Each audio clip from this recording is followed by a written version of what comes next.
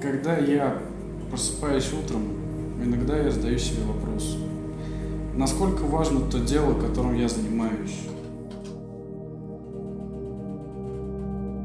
У большинства в жизни присутствуют какие-то постоянные атрибуты.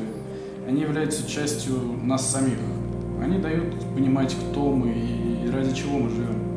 Семья, работа, друзья, мы все часть социума, помимо существования необходимо подавать себя со всех лучших сторон.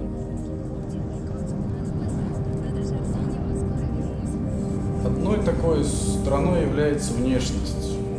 С ее помощью мы можем самовыражаться, без слов дать понять человеку о нашем жизненном стиле, предпочтениях.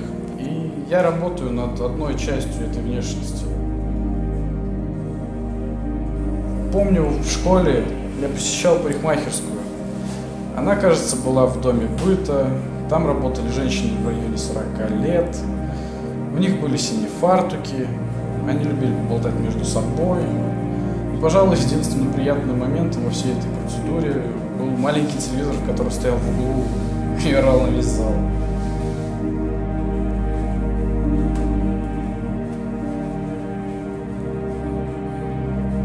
Когда я понял, что это мужская парикмахерская, я был слегка в шоке.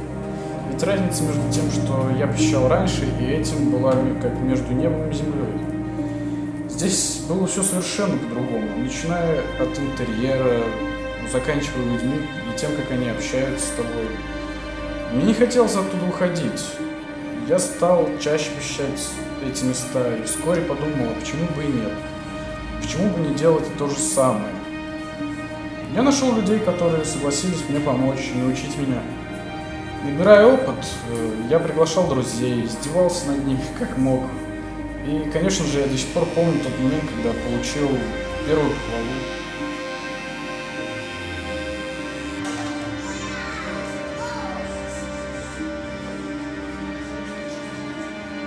У меня нет желания останавливаться на достигнутом и работать по шаблону. Каждый человек индивидуален, и подход к нему нужен индивидуальный. Это мне и нравится в этой работе.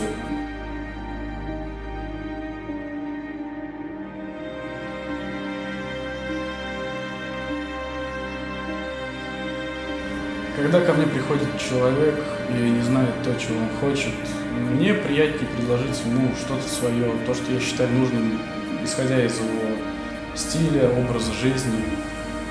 И в минуты создания чего-то нового я понимаю, что то, чем я занимаюсь, как раз-таки является частичкой того, что нужно собрать в единый пазл.